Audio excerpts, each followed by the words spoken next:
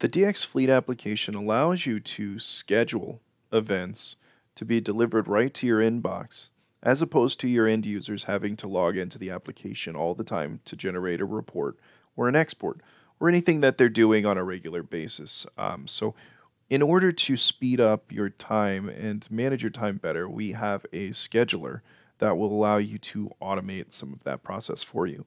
So, to set up the scheduler, we are going to simply go to reports and then scheduler. That's going to bring us here. And then we just need to click add to add a new scheduled event.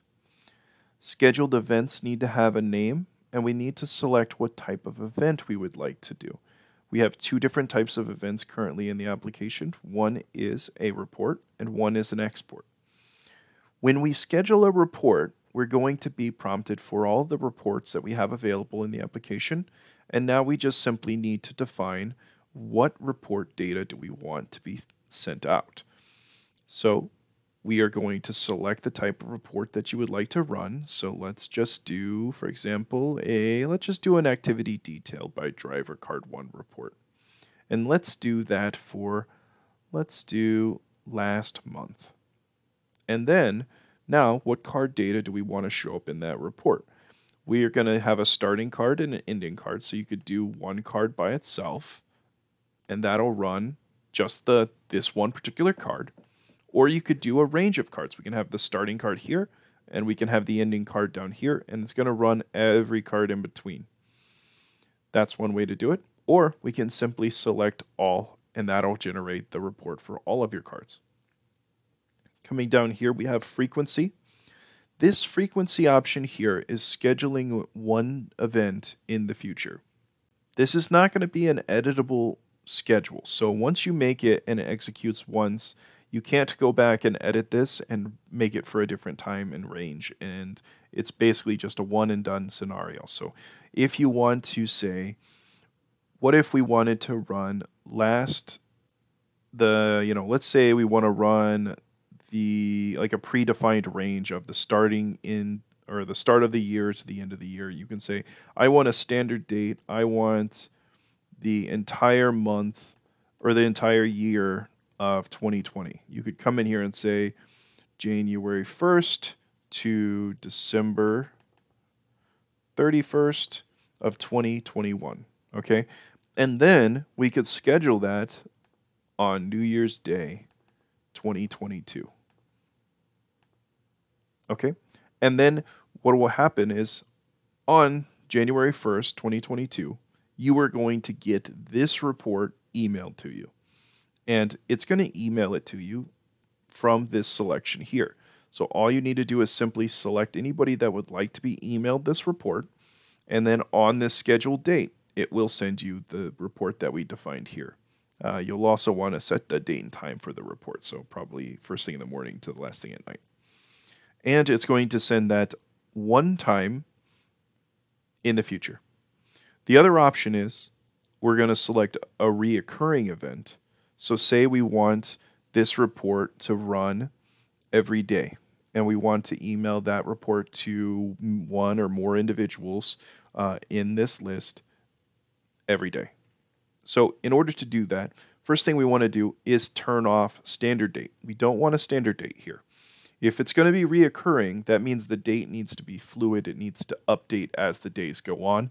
Or if we defined, you know, say yesterday on this standard date, then every day that it runs, it's going to run for yesterday's transactions. And then, you know, two days from now, it's going to run from two days ago uh, transactions. So you don't want to use a standard date when you're using a reoccurring event.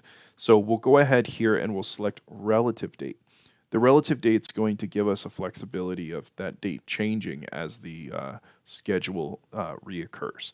So we're going to do relative, and then if we wanted to run every day, for example, we'll want yesterday's transactions to show up tomorrow. So that's what we're going to do. So we're going to create a report for yesterday's transactions for all cards, and then here we're going to select the interval, and we're going to say days, and we're going to just say every one day. Okay, so every one day, we're going to get yesterday's transactions. And then here we can define when do we want that to start. Let's just say we want it to start tomorrow and we want it to be at 9 o'clock in the morning. So we're going to say 9 a.m. Now, the until is if you wanted to only run to a certain day and then stop, and so this this report would basically be no longer delivered. Um, you could turn that on if you wanted to, or you could just leave it off. It's not required. So here, if we do this and then we come into the application and we save this, now we're going to have a scheduled event that's going to run every day for yesterday's transactions at 9 a.m. and it's going to run forever until we turn it off. And it's when it runs, it's going to simply deliver this to your inbox here. Okay, for any of these people that uh, that are on this checkbox here. So what's going to happen is you're going to get an email, and the email is going to say click here for this report. You're going to select that link, and then that report's going to save right to your browser wherever you are. You can access that via the you know any internet browser you know whether you're on your cell phone or whether you're on uh, your office computer or personal computer at home. Uh, you'll be able to get that as long as your email is here and you can access your email.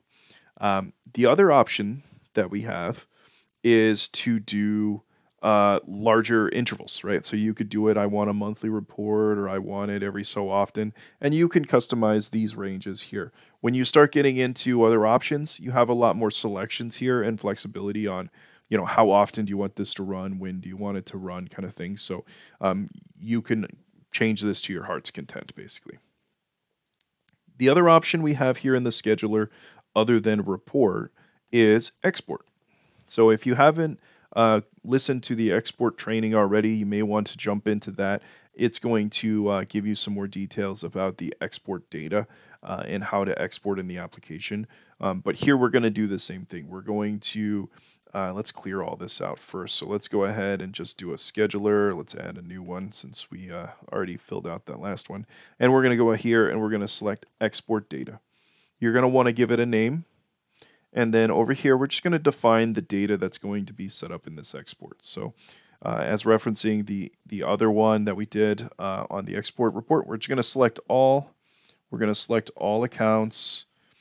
We're going to give it a name. Let's just say uh, let's just say daily export. Okay. And then whether you want network transactions or manual transactions or if you want to flag them. So we're going to flag this. We're going to say I want every transaction that's never been flagged before and never been exported. And then we're going to select, uh, I just want an Excel file for this one. And we're going to select the date range or the date format. So whatever format you uh, like seeing. Uh, I personally like this one. We're going to go ahead and select this, and then we're going to select relative date or standard date. Um, so the relative date is going to give us this export for us a defined date range. So you're going to select, I want, you know, uh, yesterday's transactions. I want the last seven days transactions. The standard date is going to say, I want this day, this time to this day, this time.